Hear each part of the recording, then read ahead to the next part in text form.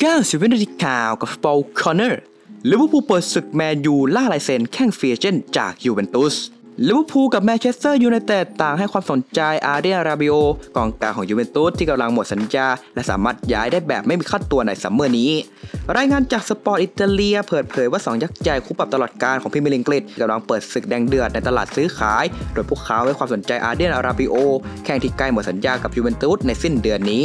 สำหรับเดอะเรดส์นั้นพวกเขาต้องการกองกลางเชิงสูง เพื่อเข้ามาทดแทนการอำลาของติอาโกอัลคันทาราที่เพิ่งหมดสัญญากับทีมหลังจบฤดูกาลที่แล้ว โดยพุ่งเป้าไปที่กองกลางยูเวนตุสที่จะไม่ต่อสัญญากับเจ้าม้าลายยูเวนตุสในช่วงซัมเมอร์นี้อย่างไรก็ตามดูเหมือนว่าราบิโอจะเปิดโอกาสในการย้ายไปเล่นกับแมนเชสเตอร์ยูไนเต็ดเพื่อร่วมงานกับเอริกเทนฮากโดยทั้งคู่เคยมีการพูดคุยกันมาก่อนหน้านี้เมื่อปีที่แล้วด้วยลิเวอร์พูลเองก็หวังว่าพวกเขาจะสามารถโน้มน้าวให้กองกลางชาวฝรั่งเศสได้มาได้ในถิ่นแอนฟิลด์ด้วยโดยของแดนลิเวอร์พูลเองก็หวังว่าพวกเขาจะสามารถโน้มน้าวให้กองกลางชาวฝรั่งเศสได้มาเล่นในถิ่นแอนฟิลด์ได้เช่นกัน จากการที่ทีมได้กลับไปเล่นในศึกยูฟ่าแชมเปี้ยนลีกอีกครั้งในซีซั่นหน้า